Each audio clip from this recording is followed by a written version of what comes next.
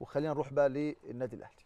أكيد. النادي الأهلي النهارده سافر الساعة السادسة من صباح اليوم يعني بنتكلم في فجر يوم الاربعاء إلى تنزانيا لخوض مباراة مهمة جدا مع فريق سيمبا التنزاني في الدور ربع النهائي من مسابقة دوري أبطال إفريقيا. قدامكم على الشاشة هيك كواليس سفر بعثة فريق النادي الأهلي من مطار القاهرة. يمكن الفريق اتحرك حوالي الساعة السادسة صباحا. كان في تجمع في المطار حوالي الساعة 5 الفجر. والفريق سافر بقوام 23 لاعب. أبرز اللاعبين المنضمين يا كابتن أسامة في الرحلة في الساعات الأخيرة كان أحمد عبد القادر ومحمود متولي.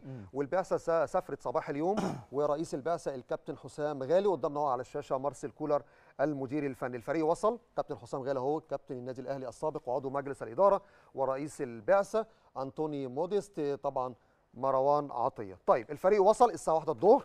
وكان في تدريب من شوية بكرة في اجتماع فني في مؤتمر صحفي لكن كل التفاصيل دي بالتأكيد محتاجين نطمن بقى ونعرفها من خلال سفيرنا. المعالي السفير شريف إسماعيل سفير مصر في تنزانيا. معالي السفير تحياتنا ليك هنا من قناة النادي الأهلي وتحيات كابتن أسامة حسني ليك. مساء الخير يا كابتن. تحياتي لحضراتكم وتحياتي لكابتن أسامة وتحياتي واحتراماتي لكل الجمهور والمتابعين والمشاهدين جميعا ورمضان كريم على الكل إن شاء الله. كل سنة وحضرتك. طيب ويمكن شايفين قدامنا على الشاشة لقطات حصرية من استقبال السفارة المصرية وحضرتك بالتأكيد موجود على رأس المستقبلي من السفارة لبعثة النادي الأهلي في مطار تنزانيا. يعني آخر الأخبار والترتيبات والأجواء كمان في تنزانيا قبل موعد اللقاء المرتقب ب 48 ساعة معالي السفير والله حضرتك يعني إحنا تشرفنا طبعا بوصول النادي الأهلي النهارده. ووصل حضرتك زي ما اتفضلت إن هو وصل النهارده تقريبا الساعة واحدة. آه رحلة أكيد شاقة ومرهقة وكان أهم حاجة بالنسبة لنا إن هو اللعيبة يخرجوا من المطار في اسرع وقت بحيث إن هم يقدروا ياخدوا قسم من الراحة خصوصا إن هو مع صيام وإن هو يعني في لعيبة كانت طالعة لسه من الماتش بتاع المنتخب امبارح. فكان في الأولوية القصوى إن هو يبقى فيه راحة في اسرع وقت ممكن. وبالفعل انتقلوا على طول للفندق الحمد لله وتم التسكين. وزي ما حضرتك تابعت إن هو فعلا عملوا فيه تمرين سريع النهارده. لأن طبعا الفرقة ما اجتمعتش مكتملة من فترة. بس المدرب حرص إن هو يجمعهم النهارده يبقى فيه تدريب سريع. الأجواء النهارده كانت يعني بكل أسف كان في أمطار شديدة جدا جدا جدا بعد وصول الفرقة. فيعني كان الملعب حتى غرقان ميه يمكن ما أعرفش التصوير مع حضرتك هيبين كده ولا لأ. ودرجة الرطوبه الحقيقة عالية جدا. يعني النهارده يمكن سجلت حوالي 90% يا طب يوم طبعا صعوبات لازم تؤخذ في الاعتبار ان هي طبعا يعني تحدي إضافي للعيبة. آه. بس نامل إن شاء الله على يوم الماتش بعد بكرة بإذن الله يبقى الجو يتحسن شوية وممكن تبقى الأجواء ألطف من كده باذن الله إن شاء الله. عايزين نسأل حضرتك يا معالي السفير عن الحضور الجماهيري خاصة إن مواجهات الأهلي أمام سيمبا بنشوف حضور جماهيري كبير. متوقع إن يكون في حضور جماهيري كبير وأيضا كمان حضور الجالية المصرية أخباره إيه؟ الحقيقة حضرتك التذاكر نفذت تقريبا في خلال ساعتين أو ثلاثة من طرحهم فده يأكد لحضرتك مدى يعني الاقبال الجماهيري للحضور والتواجد في الملعب. حضرتك عارف الملعب بتاع يعني هنا الاستاد الرئيسي بتاع دار السلام اسمه مكانته. ده بيسع تقريبا 60000 وتم بيع التذاكر بالكامل. فأكيد إن شاء الله هنطلع إن هو يكون الاستاد مليان. وطبعا التشجيع التنزاني إحنا شفناه يعني لسه كان عندنا يعني ماتشات قريبة مع سواء يانج افريكانز أو مع سيمبا نفسهم في أكتوبر وفي ديسمبر. وشفنا الأجواء بيبقى شكلها إيه؟ في حماسة شديدة في طبعا هو فكرة إن هم بيلعبوا البطل. وفي طبعا الطموح الخاص بيهم يعني الطموح التنزاني أكيد طموح مشروع لكي لكل فرقة إن هي تسعى إن هي المكسب وطبعا أكيد إن هو يعني بيلعبوا البطل ده بيديهم حافز إضافي. فالأجواء هنا طبعا كلها يعني تطلع ويعني شغف للقاء بتاع الأهلي وسيمبا يوم طبعا وكمان يعني في إضافي كمان إن هو في التطلع للقاء بتاع يانج افريكانز مع سان داونز في اليوم الثاني آه. فالحقيقة يعني تنزانيا على موعد مع يعني حدثين هامين جدا على المستوى الداخلي. إحنا إحنا دلوقتي يا معالي السفير يعني التدريب معانا على الهواء دلوقتي و... ومن الواضح إن كان في أمطار شديدة. المتوقع يوم الجمعة برضه سقوط أمطار ولا الجو ممكن الدنيا تتحسن ويبقى فيه أفضل يعني وخاصة كمان الرطوبة؟ لا هي الرطوبة هتبقى يعني مرتفعه شوية يعني نأمل بس ما هي ما توصلش 90% زي ما كان النهارده. آه. يمكن تبقى يعني في حدود هي بتتراوح ما بين 70 ل 80 ده ده في الوقت ده. الأمطار يعني ده يعني حاجة برضه موسمية بس يعني يعتبر إن هي في فرصة. إن شاء الله ما تكونش فرصة عالية ونكون النهارده خلصنا كل الأمطار الممكنة اليومين قدام. وإن شاء الله تبقى الأجواء يعني إيجابية النتيجة إيجابية برضه إن شاء الله. طيب معالي السفير يمكن قدامنا على الشاشة يمكن ده جانب من تدريبات الأهلي على الملعب اللي ات- ات- اتمرن عليه الفريق النهارده.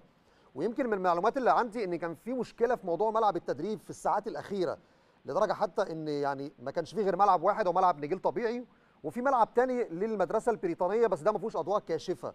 هل الملعب ده كان بالصورة دي قبل كده ولا هو وضعه بالشكل ده؟ لأن أنا كمان استغربت إن إحنا بنلعب مرحلة دور ربع النهائي وأكيد هل تنزانيا ما فيهاش ملاعب في الفترة الحالية بالشكل ده يا معالي السفير؟ ولا إيه اللي حصل في موضوع ملعب التدريب في الساعات الأخيرة؟ لا هو الملعب يعني هو مش ملعب مش استاد. يعني هو كان مطلوب إن هو. يبقى فيه ملعب بحيث إن هو اللعيبة في أول يوم بعد الوصول. يبقى لهم تدريبات سواء يعني تجميع يعني ممكن يبقى تاكتيك بسيط أو كده. بس كان هو المتاح لأن هو الأقرب والأنسب. يعني هو كمان مش في منطقة مزدحمة مش في منطقة يعني ممكن يبقى فيها يعني تدخل من أطراف أو أخرى لمتابعة الأحداث. وكان بيلبي الغرض. حضرتك عارف التدريب الرئيسي إن شاء الله هيتم بكرة. آه. ده بالظبط. ال- يعني القواعد بتاعت الكاف. ملعب المباراة. فالتدريب الرئيسي على الملعب الرئيسي بكرة إن شاء الله. ده ده محفوظ وهيتم بإذن الله. لكن في يوم الوصول كان في رغبة وطلب إن هو يبقى فيه ملعب إضافي للتدريب. أكيد. فهو ده اللي كان متاح. يعني في ملاعب أخرى بس في مثلا ملعب سرطان ما كانش ينفع. يعني ال- ال- الماتش إن شاء الله هيتلعب على أرضية نجيله طبيعيه آه. فكان هو ده البديل المتاح. ال- بكل أسف المطر النهارده لما نزل يعني مش الملعب مش درجة أولى يعني مش هقدر أقول لحضرتك إن هو ده يعني قدامنا أو باين يعني ده ملعب. فرعي يعني ملعب فرعي. فرعي يعني للتدريب طبعا حتى هتشوف إن هو كان في ال- التجميعة بتاعت اللعيبة في اتجاه واحد أو في ناحية واحدة. آه بالظبط. يعني مش قادرين ياخدوا مساحة الملعب بالكامل. بالظبط. لأن الملعب كان غرقان في حتت كتيرة منه يعني. آه. هو حتى كمان من حسن حظنا للماتش يوم الجمعة لأن حتى فريق سان داونز هيتمرن تدريبة واحدة في تنزانيا على ملعب المباراة بس يوم الجمعة 12 الظهر.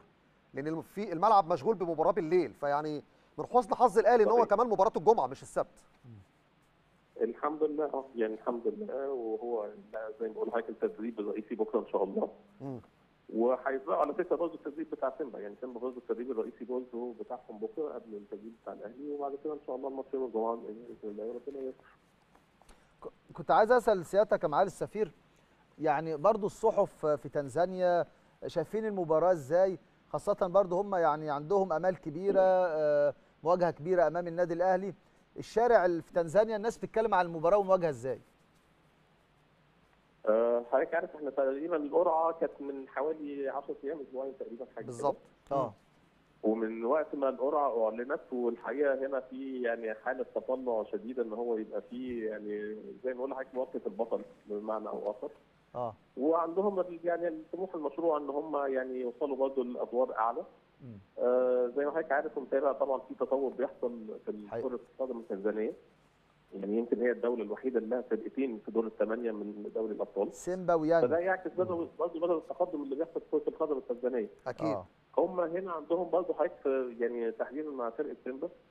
شايفين إن لهم يعني كده قيمة إضافية غير اللي إحنا شفناها منهم مثلا في الماتشين اللي جمعونا في أكتوبر. إن هم دلوقتي عندهم المدرب اللي هو أكثر دراية آه. بالمنافسات الأفريقية عبد الحق اللي هو الكابتن عبد الحق شيخ آه. بالظبط. فهم يعني عاقدين عليه أمال إن هو يعني يقدر يصعد بيهم لأدوار أخرى بس إن شاء الله بإذن الله يعني دي في مراحل ثانية النهارده وفي ماتش الجمعة إن شاء الله للاهلي بإذن الله بإذن الله معالي السفير شريف إسماعيل آه، بنشكرك بالتأكيد شكرا جزيلا على كل هذه التفاصيل والم...